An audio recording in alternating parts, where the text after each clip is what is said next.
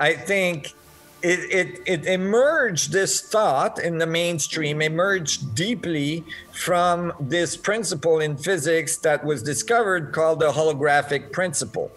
Uh, where where the first step was that they found that the energy of a black hole or the temperature of a black hole is equivalent to the information on its surface a quarter of the information on its surface. And and basically you know and, and this was inspiring to me as well because you know my solution is very close. It's just it shows that the the volume relationship to the surface is actually what gives the mass. Um, but um, this basic concept you know, led to a lot of scientists thinking, oh my God, maybe the universe, since the universe obeys the same condition um, as a black hole, um, maybe the universe is like a two dimensional surface that's projecting a holographic uh, reality into it.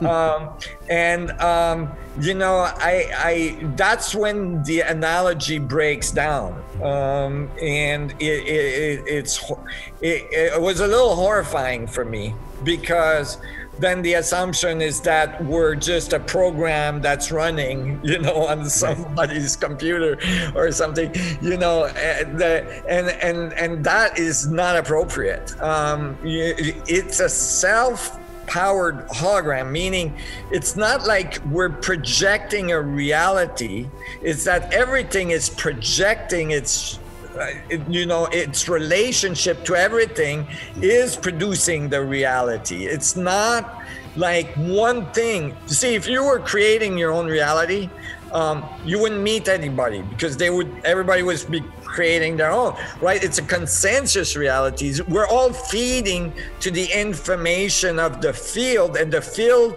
is kind of like giving us a collective result of all that is being fed. So basically, it's a self-propelling. It's it's the computer hologram uh, software, if you'd like to call it that way, for the universe is is writing itself, you know, from its own uh, information interaction.